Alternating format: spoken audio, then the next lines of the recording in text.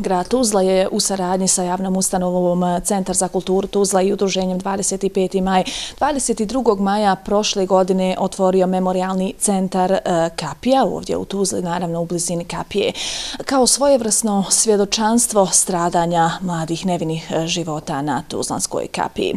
S tim u vezi o radu i cilju memorialnog centra Kapija ovoga jutra razgovaramo sa gospodinom Senadom Bijegovićem, predstavnikom Centra za kulturu Tuzla kojim evo prije svega želim e, dobro jutro i hvala na izvenom vremenu. Dobro jutro i hvala vam. Evo, e, danas se prisjećamo e, jedne od najtežih tragedija što se tiče grada Tuzle, jednog od najvećih zločina. S tim u vezi, kao što rekao, kao svojevrsno svjedočanstvo te tragedije, prošle godine je otvoren memorialni centar. Za početak, evo, šta je bio cilj otvaranja? Pa, glavni cilj otvaranja, kao što ste rekli, pardon, otvoren je e, za javnost 22. maja e, prošle godine u povodu obilježavanja 25 godina od stravičnog zločina nad civilnim stanovništvom grada Tuzle. E, cilj je bio da se na jedan stručan, reprezentativan način prikaže sva bol našeg grada, naših sugrađana, ali kroz faktografiju, kroz dokumentaciju, koju smo mi prikupili od strane udruženja i pojedinaca i naravno veliku zahvalnost dugujemo članovima porodice nastradali koji su nam pružili veliku podršku u izgradnji ove, ove postavke. I šta sve sadrži Memorialni centar Kapija? Pa, Memorialni centar Kapija sadrži portrete, fotografije e, nastradalih, zatim to su 71 portret, zatim tu su tri panoa e, koji e, predstavljaju građu iz novinsku građu koja je nastala neposredno nakon 25. maja 1995. godine, kao i vjerodostojnu dokumentaciju isto tako nastalu u tom periodu koja svjedoči o ovom strašnom zločinu. S druge strane, ovo je koncipirano, postavka je koncipirana na multimedijalna je, dakle mi prikupljamo sve zapise, video i audio materijal koji naši posjetitelji mogu vidjeti i ona je u isto vrijeme interaktivna, jer možete na putem televizora i displeja pročitati biografije svih nastradali. Ono što možemo vidjeti da e, jeste da su ovdje i mnoge lične stvari nastradalih. E, prepostavljam stvari koje su vam porodice dale. Da, radi se dakle o ličnim predmetima e, žrtava sa kapije koji su nam ustupili članovi porodica nastradali, koji se nalaze uz portret svake osobe pojedinačno. Satovi, odjeća, šta je sve? Pa da, to su ovaj, e, lični predmeti, dakle, radi se o odjevnim predmetima, o dječjim igračkama, o ručnim satovima, o dokumentaciji koju mi brižno čuvamo. E, ono što je bitno istaći jeste također vaša saradnja sa e, BIRNom, istraživačkom mrežom BIRN i fondacijom Istina pravda pomirenje.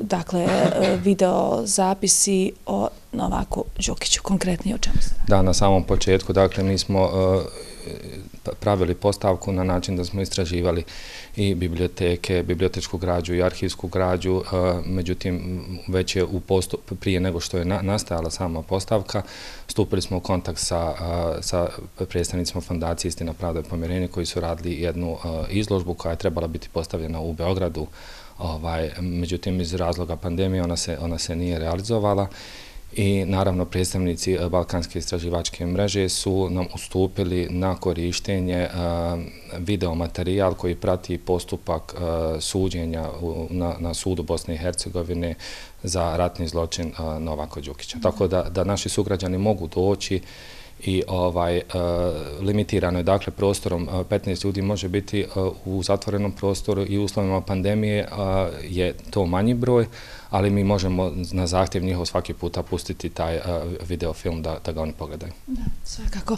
Ono što ste rekli, kada je samo otvaranje centra bilo, jeste da će se centar, odnosno građa, da će se nadopunjavati kako bi centar vremenom postao informacijono, pravi informacijono dokumentacioni centar o stradanjima na kapi. Da, da, naravno, uh, to jeste cilj u stvari, da, da, da ovaj e, memorialni centar bude centar za buduće istraživače koji će se baviti istraživanjem moderne istorije, a ovo je jedna, jedna izuzetno senzibilna tema koju treba ovaj, pristupiti na, na naučnim osnovama i naravno koristeći svu relevantnu građu, a mislim da je e, činjenični opis iz presude Novaku Đukiću e, faktografski e, urađen na način da se može istražiti i utvrditi istinitost svih relevantnih činjenica. Mi smo umeđu vremenu prikupili još dokumentacije, planiramo također i publikaciju odnosno monografiju, da prikupimo svu dokumentaciju koja je vezana za, za, za Tuzlansku kapiju kako bi objavili i s tim u vezi je i na web stranici koja je puštena u rad nedavno se nalazi svi ti dokumenti kako bi se e, imao lakši pristup svom tom sadržaju koji se nalazi i u Memorialnom centru Kapija. E, to je upravo bilo moje naredno pitanje. Virtualna e, šetnja, hajmo reći, je moguća. Kako, gdje? Da, dakle, mi smo u uslovima pandemije neposredno nakon otvorenja za javnost poslije 22. maja prošle godine odlučili da iz razloga što fizički posjetitelji su bili spriječeni da dođu, onda smo ovaj, u saradnji sa medijskom kućom Fisheye Media uradili virtualni prikaz što je e, savremeno i e, u skladu sa principima muzeologije i galeristike e, i svih stalnih postavki koje treba da prezentuju svoj sadržaj. Tako da je iz udobnosti doma vi možete pregledati sadržaj bez da dolazite fizički ovdje. A to je namjenjeno isto tako i ljudima koji se nalaze u inostranstvu, a da mogu pogledati sadržaj. Tako da link, odnosno put kako se dođe do toga jeste da na službenoj stranici naše ustanove, Centra za kulturu, se nalazi obavijesti i informacija ovaj, za pregled virtualne šetnje. Evo, s obzirom da ste s nami rekli da smo prošle godine bili spriječeni uživo doći pogledati ovaj dio postavke i građe koja je ovdje u centru, no evo recite mi da li je bilo organizovanih nekih posjeta, iako je pandemija. Pa upravo iz tog razloga pandemije mi nismo mogli, ovaj, zbog prostora kojim raspolažemo, nismo mogli organizovati posjete, ali smo bili otvoreni svakim radnim danom od 8 do 16 sati i najavili smo da su uh, sve posjete koje se nalaze van tog termina, da je moguće isto tako njih realizovati i u dane vikenda uh, uz prethodnu najavu. Nastojat ćemo u ovaj periodu koji, koji ovaj dolazi da ostvarimo saradnju i sa uh, pedagoškim zavodom i sa osnovnim i srednjim školama, sa univerzitetom da dođu i, i da pogledaju postavku. Evo, rekao ste od 8 do 16 sati da ste e, svakim radnim danom naravno otvoreni, e, no danas evo, kako je radno vrijeme, do kada ćete biti ovdje? I prepostavljam da će uvijek biti tu neko, kao i uvijek neko da dočeka posjetioca i da im govori i priča o Naravno, e, tu, tu se smjenjuju kolege koji su ovaj istoričari po struci i kustosi koji na profesionalan stručan način mogu prezentovati sadržaj postavke. Danas pozivam građanstvo da e, mogu doći i pogledati postavku do 21.30. Hvala puno evo na svim ovim informacijama i evo e, znamo evo da su građani da je ovo bolna rana građana Tuzle, ali zaista treba doći vidjeti i naučiti, pogledati i poistovjetiti se šta drugo. Naravno. Hvala. Hvala. Hvala.